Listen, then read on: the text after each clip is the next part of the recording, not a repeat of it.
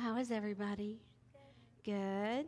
Okay. I'm having uh, some conflicted thoughts. I have a message, and I'm thinking about doing something different, and I'm so I'm going to go ahead with what I was going to do. Today's lesson is on discipline. Oh my gosh. Who's first? no, it's not that. Huh? We're- not cutting up a tongue today. We're going to build a couple things. I hope. I hope this works the way I do what? I brought a what? A tongue. The tongue.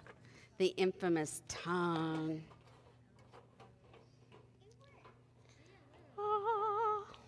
Almost.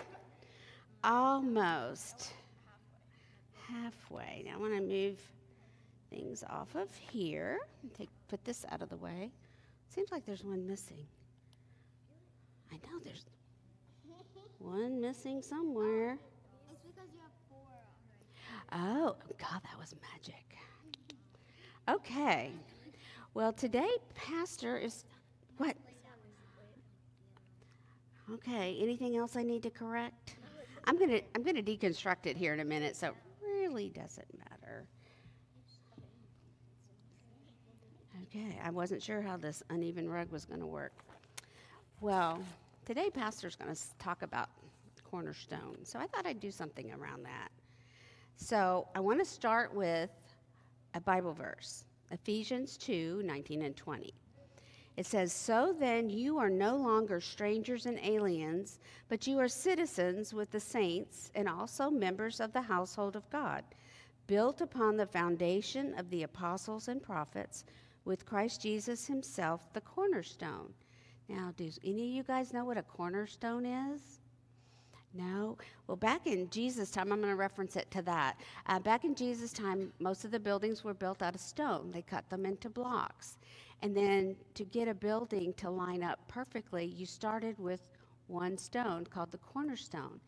And you placed it such that the rest of the building would be built out, of that, perfectly straight. They could draw their straight lines from there and line it all up so that it was firmly firmly placed and the building would be really strong. So they started there. And I wanted to talk about different kinds of foundations. Now, if we had a foundation, this is the ceiling. If we had a foundation that started, oh, does anybody ever have problems like believing what your friends say? Like, are you telling the truth? Are you making this up? Okay. Well, if we build a, this is the kids, if we build a foundation on what our friends say, and we build our foundation on maybe the news, maybe Facebook. We're reading way too much of that. Yeah. Instagram, Twitter, TikTok. Oh, what else is there? X. That's a stupid name, isn't it? X. Okay, and now we're talking, we're hearing rumors and wild stories, and people are just making up all kinds of stuff that who knows if it's real or not. It's really hard to figure out where your foundation is when you're not basing it on something solid, right? None of this is solid. None of life's, what surrounds us in life is the solid stuff. We have to learn to discern through all that and figure out what's going to work. This isn't going to fall for me. So, when something isn't built on a firm foundation, that foundation can move, it can wiggle, it can cause us to change directions, doubt ourselves, doubt everything that's going on in our lives because you can't just pivot because somebody said something. You've got to make sure you discern in your heart what's true and what's not true. So the deal is if you start with a firm foundation which is Jesus. Jesus is the cornerstone. Okay, we're going to pretend we're going to build an apartment building. Now, we've got Jesus as a foundation, and we've got the apostles and all their teachings. They followed Jesus and they knew just what to teach because Jesus taught them. And then we have some of the, the prophets. And the prophets prophesied things that God wanted the people to know. Now, in this apartment building, we've got Jesus as our foundation. Don't let me get this where it'll fall. And then we've got our parents. Our parents are part of that foundation.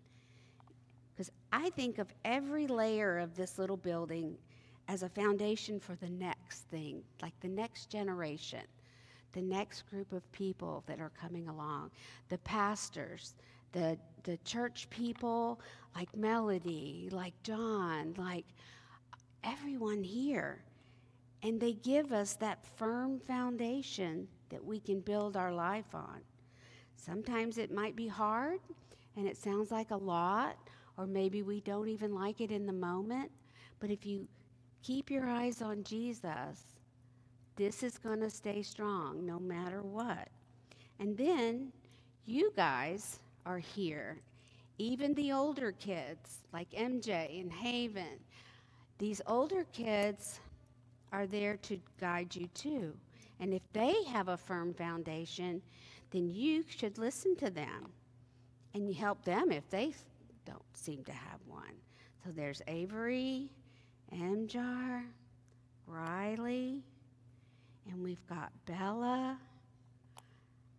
And there's another one. There's Isabel. And Cannon and uh, Hudson, I thought we were going to be here. There's Towns and Ava. Oh, they are here? Where are they? Oh. Oh, you're hiding. I get it. Okay. So there's Cannon and Towns and Ava and James, Gabby, Hudson. We got any more? Olivia. Olivia and Corey. It's y'all's responsibility to be a foundation for your siblings. It's very important because they look up to y'all. So we've got all these people who love us and all of you. And we're all in this building, which is the kingdom that we're building. And we're, we're, the ultimate goal is to get to God's kingdom. But all this we're building together, guys. This is our family. This is our foundation with Jesus, and we are building his kingdom here on earth. And we're all doing it together. And we can we know no bounds because we have trust and faith and patience and lots and lots of love. And God's looking after us, and Jesus died for us. And oh my gosh, there's nothing better, is there? Nothing better. So we can put the ceiling on the building, and we've got a strong foundation to live our lives. We've got lots of people that are here to guide us, lots of people we can talk to. Um, and that's even teachers and special people in your lives. So, don't you want that foundation? Don't you want to be able to come back around and say, Jesus, I'm getting a little loose here, but I have a place to come back to that's nice and strong, and I feel safe and loved. And that's the way He wants us to feel. He wants us to all be God's family together. And I think that's great because I couldn't think of a bunch of kids that I would want in anywhere that I wouldn't want in my family as much as I love you guys. So I hope you understand that everything that you're learning here and everything that your parents and teachers and mentors and pastor, everything you're learning is for the rest of your life. And we're giving you the best foundation. So that's my, that was what I was going to do today, and I did it. Does anybody have any questions? Come on, Ava. No? Okay. Well, I just wanted to show you that a firm foundation with Jesus is very important. And Pastor's going to expound on that, I think, a little more for us grown ups. But I wanted you to get the idea. So, is that good? All right. Okay, guys, y'all can go on to Children's Church.